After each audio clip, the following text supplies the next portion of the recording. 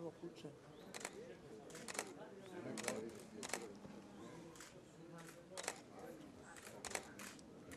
Bilo je jedno, dvoje, troje, četvero, petero, šestero, sedmero je, osmero je ovdje što je. Pa ovdje je ubijena ovo čovjek i žena.